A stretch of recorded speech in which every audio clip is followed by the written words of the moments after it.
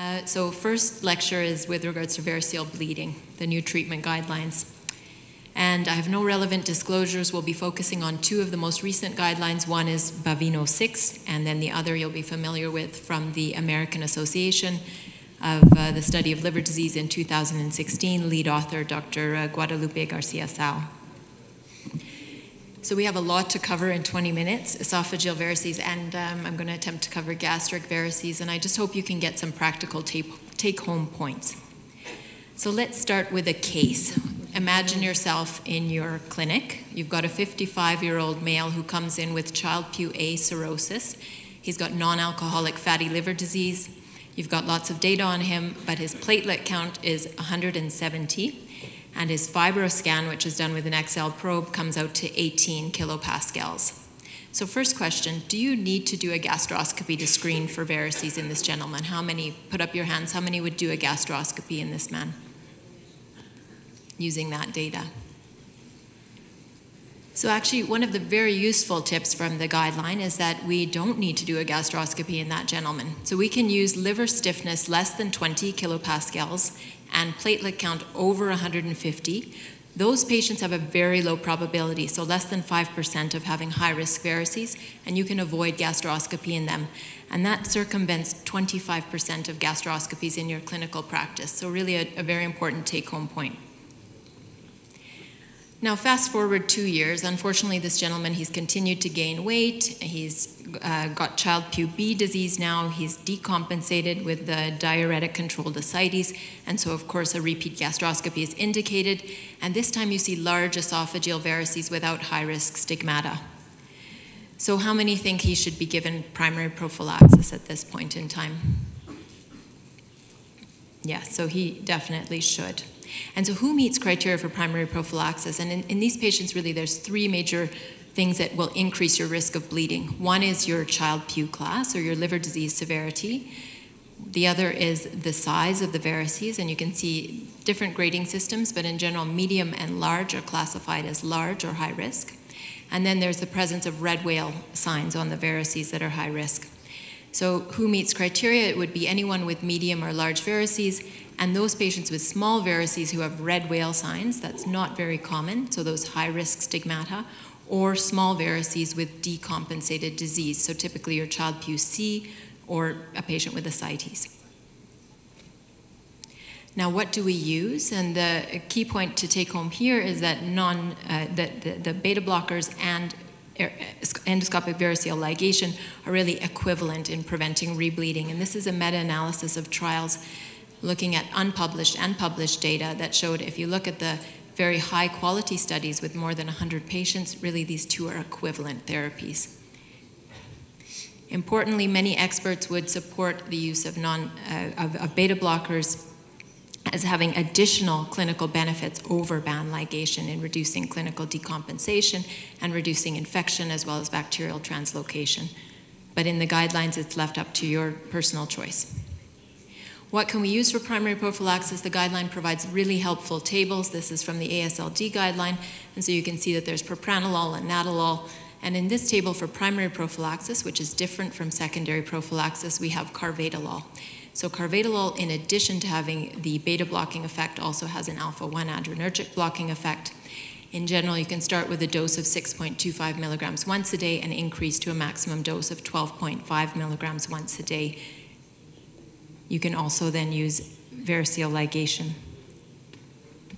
So going back to a, a, another case then, this is Mr. WW. So you're on call, you're called into the hospital, you're uh, going to see a 52-year-old gentleman with hepatitis C-related cirrhosis. He's got complications, so he's got ascites on diuretics, he's got a hepatic encephalopathy on treatment, he's vomiting up bright red blood, his hemoglobin 67, blood pressure of 90 over 40. You can see his labs there, and his MELD score is 16 with a Child-Pugh C10. So what are you going to do next for him? So just think in your head what the major things are for treatment. Um, important point is that we're actually very good at controlling bleeding. So only 10 to 20% of patients will we not be able to control their bleeding. And this is over time, it's significantly improved. What we do need to do better at is uh, improving and, and, recognizing that we need to also reduce the rates of renal failure and liver failure and bacterial infection in these patients. So, acute management then is not only going to focus on stopping the bleeding, but we're also going to reduce mortality by looking at non bleeding related deaths and trying to maintain end organ perfusion, such as to the kidneys. So, four major things resuscitation, vasoconstrictors, antibiotics, and your endoscopic therapy. Intubation, obviously, if needed, if, the, if he's actively vomiting and if he's not protecting his airway, aiming for a systolic blood pressure of about 100 millimeters of mercury, mean arterial pressure of 65. Very important in your resuscitation that we have evidence for a restrictive transfusion strategy, and this is a paper that you'll be familiar with from the New England Journal of Medicine, in which a third of the patients uh, enrolled had cirrhosis. This was 921 patients. And so the restrictive transfusion is a hemoglobin of uh, aiming for a target of less than 70, uh, ranging from 70 to 90, or transfusing at a hemoglobin of less than 90, aiming for a range of 90 to 110.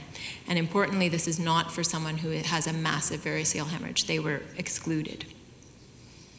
What did this show? In the cirrhotic patients, it showed that it, actually in all patients it showed that it reduced mortality. If you look at the patients with cirrhosis, so this is in the green, it also reduced mortality just trending when you include all patients and a definite uh, reduction in mortality in looking at just the Child-Pugh A and B. Very difficult to change mortality as we know in the Child-Pugh C patients. What about correcting coagulation parameters? And in both the ASLD guideline and in the Baveno consensus, they suggest that they cannot make recommendations uh, on the basis of currently available data. What would I suggest? I mean, we know that DDAVP and factor 7A have not shown benefit. I think it would be reasonable, and in my practice, I do this platelet transfusion if your platelets are less than 50, but again, that's not evidence based. And then uh, checking a fibrinogen in a serious bleed as well. So if your fibrinogen level is less than or equal to one, our hematologist would support giving cryoprecipitator factor. Okay, then the second um, item after resuscitation is vasoconstrictors, and we know that vasoactive drugs should be started as soon as possible, so before endoscopy, and continued for up to five days, so two to five days. We have octreotide, vasopressin, and terlipressin, and I understand you're very lucky and you have terlipressin available to you. We have just octreotide. The benefits of vasoconstrictors are many, and this is a meta analysis of 30 randomized control trials.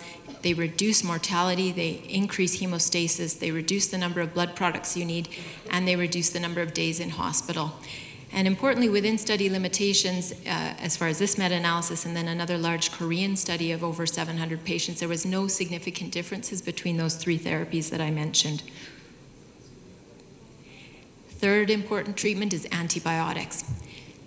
50% of these patients will get an infection in hospital if you don't give them antibiotics. And this is a, a, very nice um, Cochrane meta analysis uh, from Mexican authors looking at 12 trials evaluating antibiotic therapy versus placebo. And we know without a doubt that antibiotics reduce mortality, reduce bacterial infections, reduce rebleeding, and reduce hospital rates what antibiotics should we use? And I know in Mexico you also struggle with um, antibiotic resistance.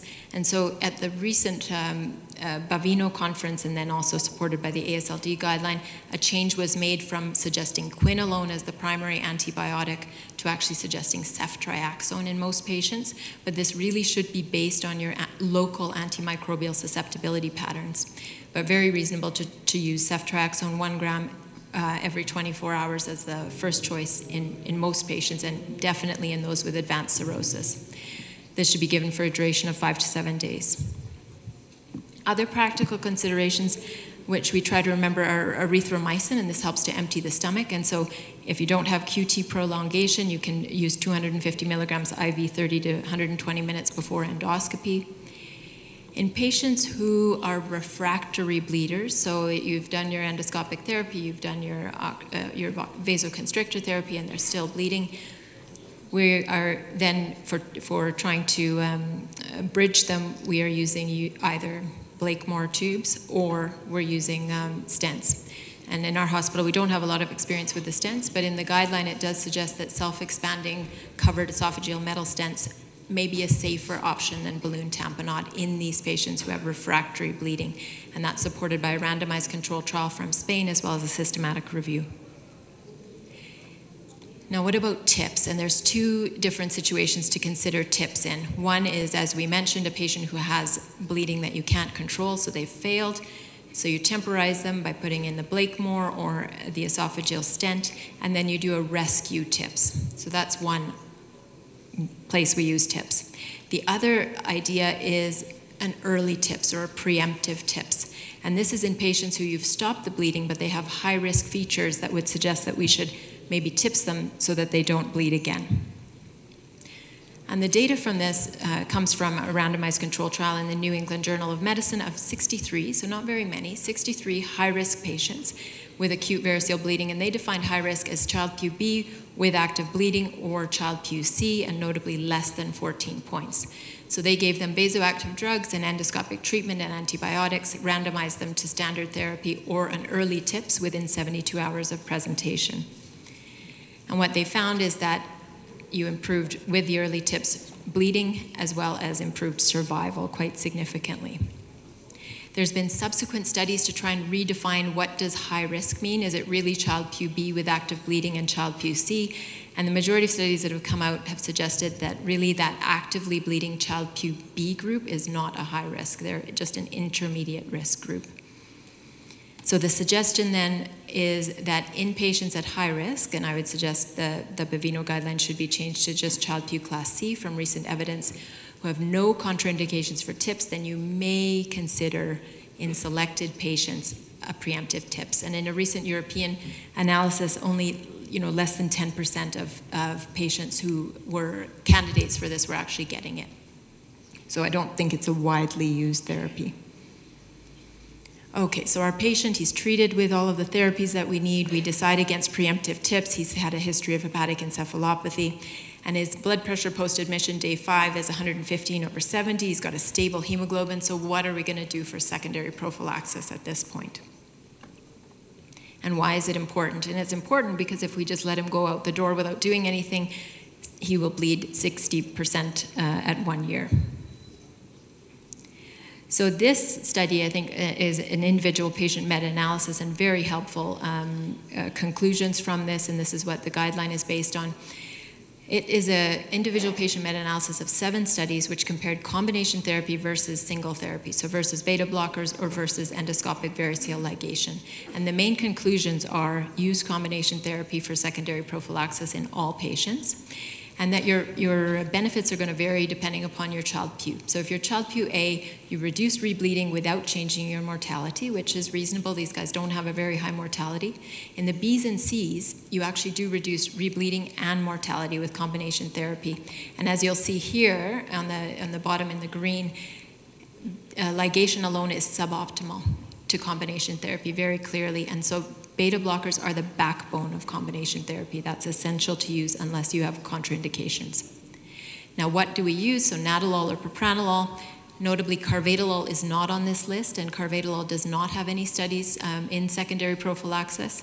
We should combine this with endoscopic band ligation, and again, uh, the, the guideline is every one to four weeks. And it should really start as soon as possible at discharge.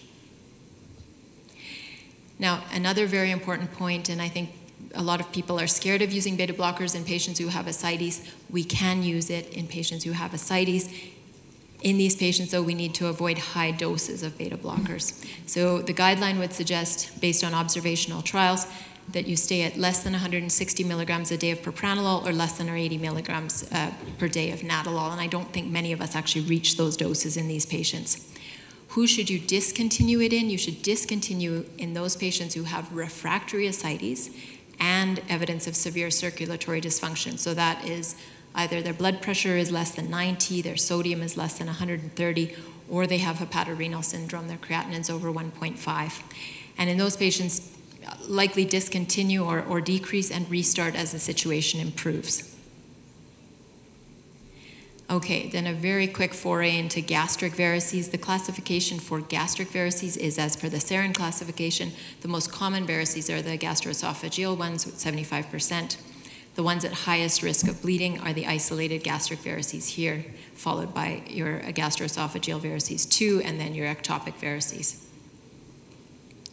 So we won't cover the treatment of uh, gastroesophageal varices because you treat them just like esophageal varices. We know very importantly that there's limited evidence. So, unlike esophageal varices, we don't have a lot of trials in this. So, a lot of this is based on expert consensus or very few uh, studies. And I understand you do have glue available here, which is fantastic. So, the Baveno guideline is probably more applicable than the uh, ASLD guideline, which is in America, they don't have uh, glue available. So, we know glue is a first line with uh, transjugular intrahepatic portosystemic shunts. Another therapy that I want to cover, and I'll just mention it briefly, is, uh, is BRTO or balloon retrograde transvenous obliteration. And this is different than TIPS. Okay, so what you do is you um, retrogradely cannulate the renal vein, you uh, inflate the balloon, and you inject a sclerosant into the into the gastric varices. And so you're not actually redirecting the portosystemic um, flow in this situation who would you do this in? So it requires a gastrorenal shunt, and the majority of cardiofundal varices that we talked about do have a gastrorenal shunt. And it needs a radiologist who's able to do this and has expertise in this, probably more importantly. Now, we know that, that this therapy can cause portal hypertension. Uh, and so ascites and hydrothorax can develop in 30% of patients in patients who have a high gradient, a high hepatic venous pressure gradient over 12, after they've done the BRTO, often we do combine this with a TIPS procedure at the same time. So, who would you prefer this in? You would prefer it in patients who don't have any ascites or evidence of portal hypertension, those who have hepatic encephalopathy, because you're blocking off this shunt, which might also reduce their HE symptoms, and in those who TIPS is not effective. So for the primary prophylaxis of cardiofundal varices, these are patients who have not bled before, and the data here is really soft one study. Um, and the, the guidelines would suggest that the Baveno guidelines say it, we need further studies, they wouldn't do it. The ASLD guidelines suggest that in patients who have higher risk varices, and again, the definition of this is up for debate as well, but in this, the one study by Mishra in 2011, they used uh, high risk varices as size over um, 10 millimeters. In those patients, ASLD suggests non-selective beta blockers are the least invasive, but this study actually suggested that glue would probably be the, the most efficacious. And I think you wouldn't be wrong for considering either of those given the, the limited data that's available or even not treating.